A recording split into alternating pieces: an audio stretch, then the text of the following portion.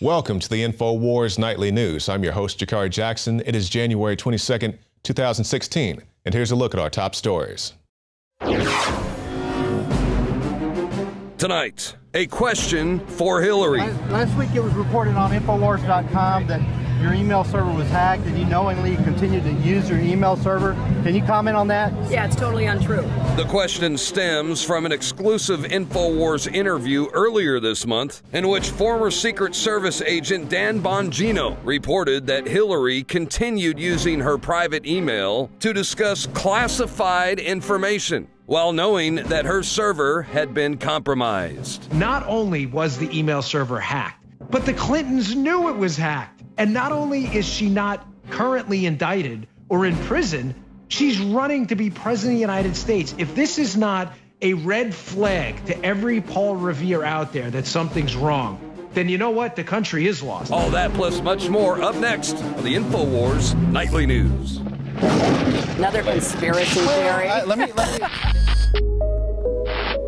Clean, pure drinking water. You can't survive without it. But where do you get it? Alexa Pure Pro is a brand new, groundbreaking, gravity fed water filtration system that is like no other. The Alexa Pure Pro transforms water from virtually any fresh source into clean, healthy drinking water, pairing the unprecedented superfiltration power of an all new gravity block core with a hybrid chromatic shell. It removes up to 99.999% of impurities, including bacteria, viruses, fluoride, disinfectants, volatile organic contaminants, and hormones.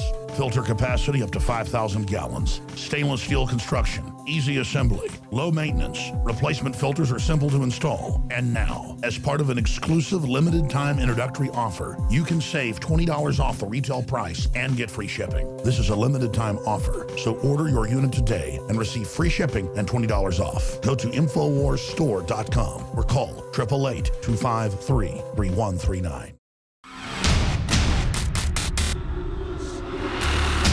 Ladies and gentlemen, first item of news tonight is incredibly important. So important, I've preempted the start of the show. Jakari Jackson and all the latest breaking news is coming up here in just about five minutes for the hour long nightly news transmission. It is the 22nd day of January 2016 on this Friday edition. Again, I am your host, Alex Jones. We're also doing a live Facebook mentions right now uh, as we tape this for the news, show that this gets out now. This is so serious. As I got off the air at 2 o'clock Central earlier today, I was handed a Defense One article. I also saw it mentioned in Politico, and I went and actually read over the bill, and it is staggering. It is staggering. It is nothing less than military martial law, not just in America, but worldwide wide as NATO as a world government army. And it gets worse. They're convening a 29 nation meeting next month on the quote threat of ISIS. And really, that's the cover for NATO to operate in any country, anywhere they want. This is the global government army. This is so incredible. So I'm about to go over this for everybody and then go over some of the background. Now, undoubtedly, just like with Jade Helm, the media will misconstrue or edit this to say that I'm saying they're coming for your guns this week or next month, or that they're going to lock everybody up next month, or that this will be physical martial law like North Korea. No. Martial law simply means a suspension of normal law, basically rule by dictator or military. Go read the Webster Dictionary version. There's several, but that's basically it. When the Senate votes to give the president unlimited power for military action anywhere in the world, anytime he wants, in perpetuity, that's an unprecedented, unconstitutional declaration of war. It gets worse. Even Defense One says this is incredible, this is unprecedented, this is raising eyebrows. He's trying to sneak it through when Snowmageddon has hit and they're saying shelter in place and are looking at five to 10 feet of snow in D.C. So almost no one's there. They said the Congress had shut down, and then he's going in, just like the Federal Reserve Act passed in 1913, on what, Christmas Eve, in the middle of a blizzard. Well, here we are in the middle of a record blizzard, the 22nd, 2016, in January, and they're doing this. Buckley, I'm going to go to document cam. Um, for folks that are uh, watching right now, I guess we can go over to that television there and show folks, but we're going to go over this for the folks on Facebook mentions and the prisonplanet.tv nightly news viewers. But here it is Defense One. Mind you, this is not Alex Jones saying all this, okay? And this is just all part of the economic collapse, uh, Europe declaring civil emergencies, economic emergencies. Uh, suspension of rights, suspensions of, of, of being able to protest, any of this. So, so let's go over it. Senate leader surprises lawmakers with new ISIS war powers request. War powers. Now, normally they did a declaration of war. It was a huge deal. Then they just call it war powers. Oh, if you know, uh, terrorists attack the Capitol, the military is allowed to respond. No, no, this is worldwide 360 anytime they want. And then they'll spin it and go, you don't trust our military. No, our military is saying get controls over Obama and the globalists. And here's this RINO neocon, Mitch McConnell of Kentucky, giving the president unprecedented power. And listen, it may get worse, okay, down the road. And, and, and they'll give him even more powers. The point is, is that this is martial law on the books if this passes, and they're trying to ram it through very, very sneakily. So continuing, Senate Majority Leader Mitch McConnell offered members a snow weekend surprise, quietly teeing up a debate on the legal underpinning for the fight against ISIS. After months of worrying that such a resolution, known as an authorization for the use of military force, would tie the next president's hands, McConnell's move to fast track the measure surprised even his top deputy, Senate Majority Leader John Cornyn, another senator from Texas, who was unaware that McConnell had set up the authorization. He did, Cornyn asked National Journal.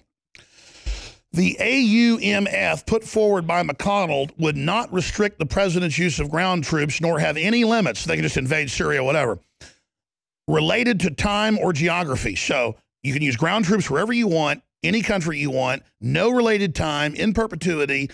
Forget geography. I mean, this is a global 360 declaration of U.S. military martial law, but the U.S. doesn't run the U.S. It's even worse. We're run by globalists. Come on over here, Buckley. We'll get into the document here. So look at this for yourself. Obama administration the use of ground troops, nor have any limits related to time or geography, nor would it touch on the same issue of what to do with the 2001 AUMF, which the Obama administration has used to attack ISIS despite this authorization instructions to use force against those who planned the 9-11 terrorist attacks. By contrast, the legal authority put forward by the administration last February wouldn't authorize enduring offensives uh, ground troops operations and would have ended three years ago and then it goes on. So, see, that was the whole debate. Don't give them unlimited ground troop power or they'll do a Syrian war backing ISIS and Al Qaeda. But forget that. This is anywhere in the world. So they can attack Russia. They can launch attacks in Ukraine, uh, where we got U.S. troops fighting Russians now, it's admitted. They can start a war with China. They can do anything. They can use them here in America. And of course, when they use them, it'll be meant to look legitimate. So the police and the military all work together. And so it looks legitimate. It's all part of a process of conditioning us to accept it. And then we point out we've got NSA spying. They deny it's happening. Then they say, oh, it's only on terrorists. Then it turns out they're using the NSA to spy on the FBI, so they can't stop San Bernardino terrorists. And then we learn they're working with the terrorists because it's a foreign multinational group, ladies and gentlemen. Now let's go to a couple more articles right here. This is what else has been happening. Michael Snyder, who was on today from Economic Collapse blog. Emergency powers gives Barack Obama authority over just about everything during a major national crisis, including economic. Obama is now the most powerful president in history. And the precedent set to this to be passed to the next president. It's about the power structure abolishing the Bill of Rights and Constitution by fiat, by executive action. Let's continue. Obama signs executive order to allow detention of all Americans with respiratory illnesses or any signs of it separately there. They've built civilian inmate labor camp programs and admit that they will, quote, re educate extremists at them. Remember this last week, January 8th, or two weeks ago. CNN op ed calls for Obama to declare national state of emergency to gut Second Amendment to scare us into submission with the announcement of confiscation. That'll start a civil war. I don't know exactly everything they're up to. I don't know when what shoes are going to drop or what balloons are going to go up. But I know this the whole world is going into tyranny. Global governments being announced, run by above the law, mega corporations that control our governments and play populations off against each other. And the fact that this bill was introduced and that it's got no attention. It was introduced secretly, basically, two days ago. Cornyn said he hadn't heard of it yesterday, and now it's just been in a few newspapers today. And and and again, this should be one of the top stories in the country right now, in the world. That the United States, that has half the military power in the world, half the defense budget, probably more than half the military power in the world, is about to sign over to a Barack Obama unlimited power to attack whoever he wants, whenever he wants, when you read the authorization. And this is a guy already caught funding ISIS. This is a guy already caught funding Al Nusra and Al Qaeda. This is crazy. But this is what happens in every other country and every other culture over and over again historically. This is martial law 2016. It is the theme of where we're going. They will never call it martial law. They will call it civil emergency. They think the public's too dumb on NFL playoffs to even see what's happening. When we complain, they just say, oh, none of this is even going on, knowing the public's ignorant. But the good news is more and more people are listening, more and more people are involved, more and more people are aware of what's happening. And most importantly, I talk to our military. I have a lot of them on the air, even active duty. And they're aware of what's going on and tell me that they're not going to go along with this tyranny. Folks, we need to come together as a nation, not let George Soros and the White House start a race war. We need to come together and promote liberty and freedom. We need to uh, defend ourselves. We need to get prepared. We need to be politically active. We need to be on the defense and the offense. Now, I'm going to go ahead and throw it into the main transmission, the intro for InfoWars Nightly News and all the info coming up. And I know Jakari Jackson will have more to say on this uh, as it unfolds, but no one can deny that massive sustained preparations for political oppression and attacks on the press and the IRS assaults on gun owners and Christian groups and, and, and real classical persecution and oppression is already happening at unprecedented scales and is being geared up for even more. And here's something I've been told by the establishment and, and by media people. They go, Alex, you're left on air because you scare people and we can't come right out and admit we're doing all this. And so you're just, we let you do what you do because you scare them. Well, you know what? I think they've miscalculated.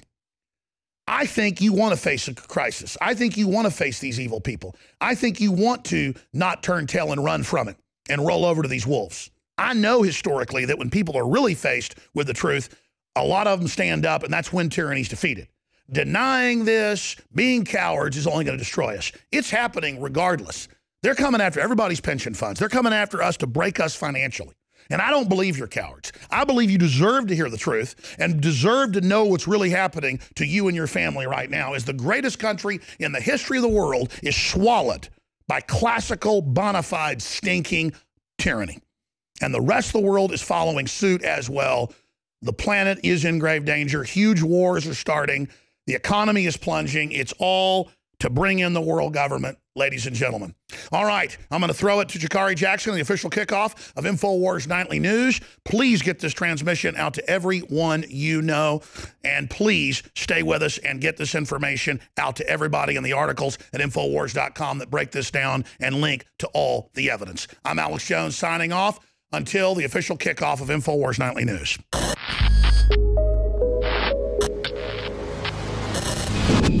And that was Alex Jones with a breaking news report. Now, David Knight, that was a lot of information to ingest. So, can you break it down for us?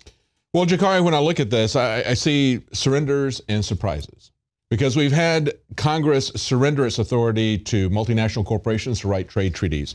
We've had them surrender their ability to write laws to the bureaucracies. Last year, we had over 81,000 pages of rules and regulations coming from the bureaucracy. So we now have not only uh, taxation without representation, but legislation without representation. Of course, this is part of them surrendering their authority to declare war. So Congress has completely surrendered, but there's also a surprise element in this.